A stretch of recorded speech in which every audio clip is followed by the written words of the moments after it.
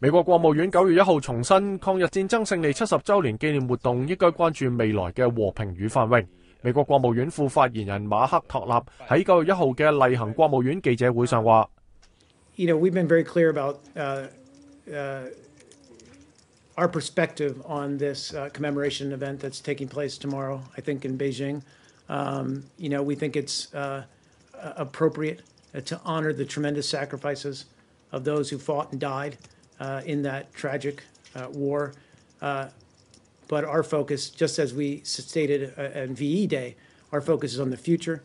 And our focus is what happened after the war, where we've seen a sustained period of peace, prosperity, partnership with Asia. and we want to see that continue to grow and solidify and, and bring a, a new era of peace and prosperity. 日本最近指責聯合國秘書長潘基文計劃出席喺北京舉行嘅閱兵，有損聯合國嘅中立立場。對此，托勒表示，聯合國所代表嘅係所有國家都可以通過對話去商討同全世界利益有關嘅重要議題。美國之音電視報道。